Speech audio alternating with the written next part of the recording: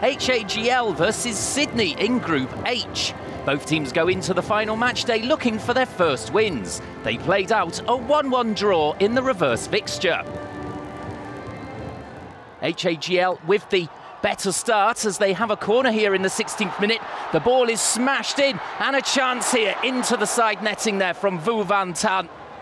Great opening for them, just slicing it slightly. Next potential chance comes only a minute later. Washington Brandao is in here down the right-hand side. He takes on the shot with the outside of his foot and is saved by Thomas Heward-Belle. Now it's Sydney's turn to attack here, twisting and turning on the edge of the box. The ball in for Le Fondre. It's a massive one for him. Somehow he doesn't even hit the target. It's laid on a plate for him, and that's a massive miss. 39th minute, and HAGL, some clever play here. And the chance for Washington Brandao, that's fantastic. Absolutely fantastic.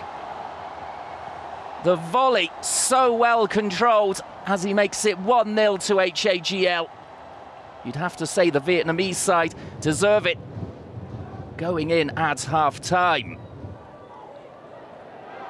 Sydney fly out of the traps here, though, in the second half. Early opportunity for them and blocked by the keeper. Trent Buhagiar, it was, with the effort with his left foot. Good save at the near post. Sydney much improved in the second half, but just over the hour mark, Nguyen Cong Phuong might just line this one up. Nice trickery. In it goes. It's saved. Next opportunity, perhaps. And it's blocked there and out.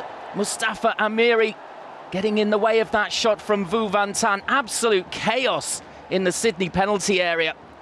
But they've survived the onslaught. It remains 1-0 to HAGL.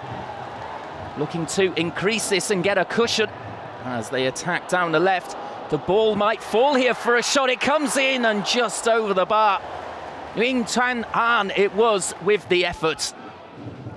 82nd minute now.